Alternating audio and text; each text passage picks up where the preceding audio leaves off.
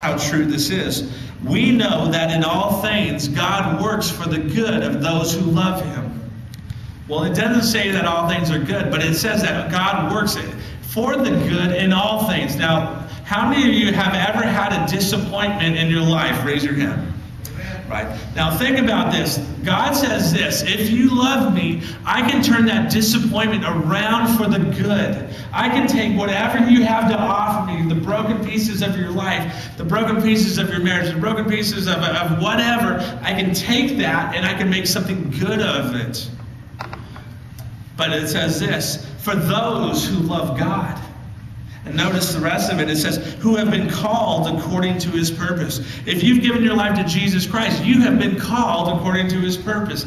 You have to live, and I have to live a life that's loving to God, that we are doing what he wants us to do. We're obedient to him in, in those areas. And he says, when we do that, God does miraculous things in our life. Now, look at Mary. She was a, an unwed teenager.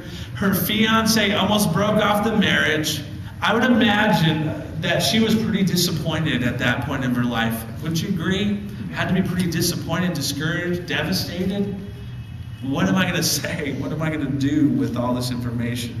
I want you to notice God's master plan in this whole story. Notice this.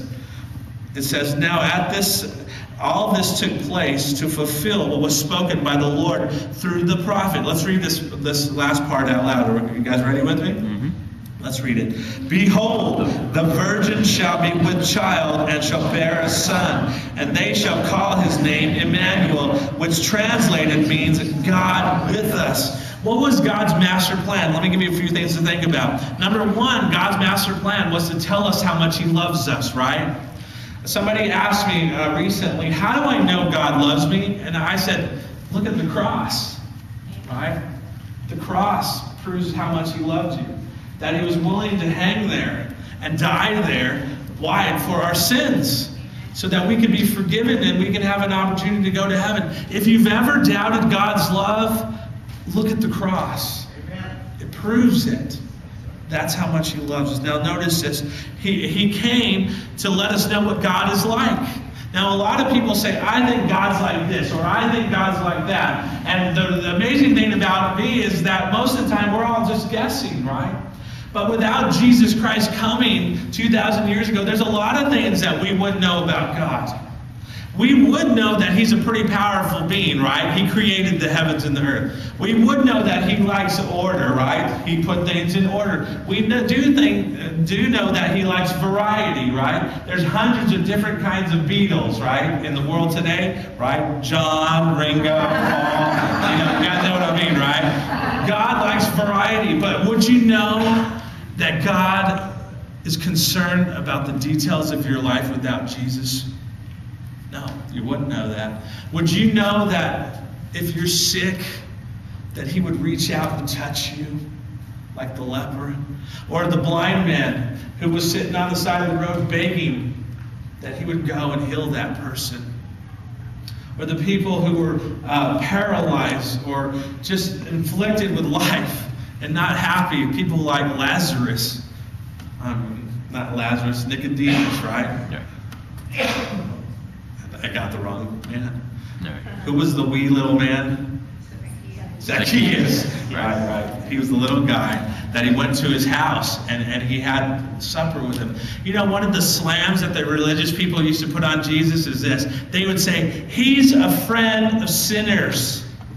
How could he be a religious person if he hangs around with those people? You guys know what I'm talking about? Those people? Yeah. Well, Jesus didn't take it as a slam, he wore it as a badge of, of honor. Yeah, I am. I am a friend of sinners. And, and Jesus Christ, we wouldn't know that about God without him. He came to heal our hurts and our disappointments. He came to transform our lives. He came for a reason that this little girl could not have even imagined that he was going to change the world through her life. Now, notice this passage in Proverbs. How many of you got plans to go shopping later again? Okay, how many of you plan on doing something fun in the next couple days? I want you to notice this about our plans. Proverbs 19:21 says, "You can make many plans, but the Lord's purpose will prevail." Now, we can make all kinds of plans and we can make all kinds of uh, goals for our life, and those are good things to have. But the reality is, if it's outside of what God wants you to do, He's not going to allow it to happen. And sometimes we look at our plans and we say, well, why didn't this work? Or, God, why didn't that marriage situation work? Or, God, why didn't this happen? And, and, and God, God is wanting to work in those relationships. Scripture says God's purposes will prevail. Now, is it God's purpose for people to have divorce? No. Is it God's purpose for people to get sick and die? I, I, I would say no. However, it happens because we live in a fallen world, right?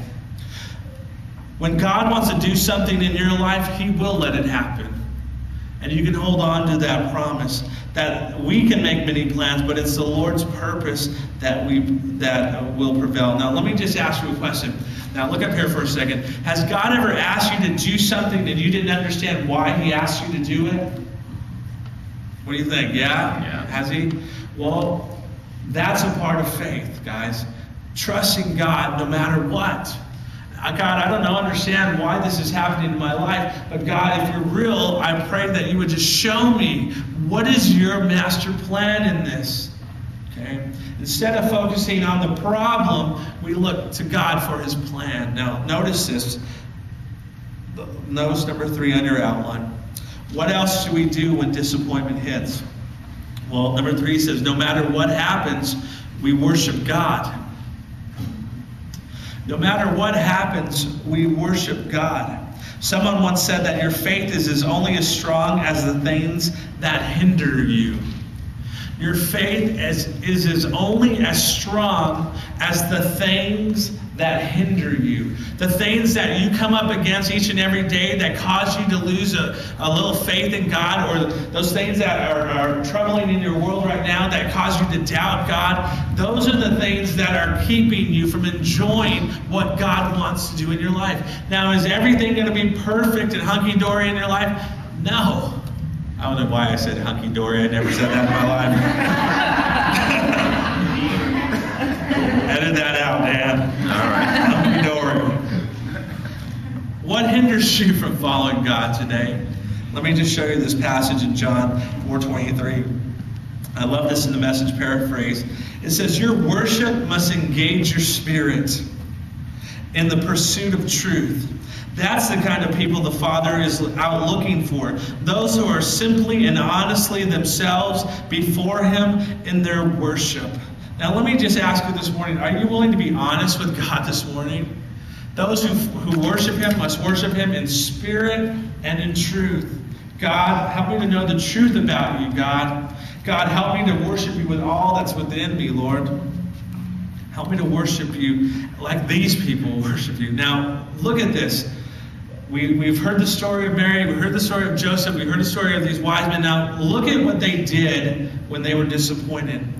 Look at Mary in Luke chapter 2, uh, verse 19. It says, when, But Mary treasured these things, all these things, pondering them in her heart. Well, what things? The story about Jesus, that he was born, that people wanted to worship him, that he was going to be the king of the, the universe and that, that eventually that that king would suffer. And she took it all in and she thought about that and she just marveled about what God wanted to do in her life.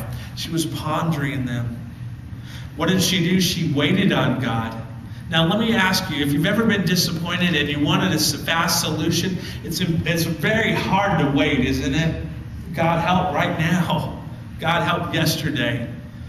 I want you to notice Mary didn't get an immediate answer. She had to think about what God was doing in her life. She, she considered what the angel said. She, she was considering God's master plan. And she said, No matter what, God, I'm going to follow you. No matter what happens, no matter what people say.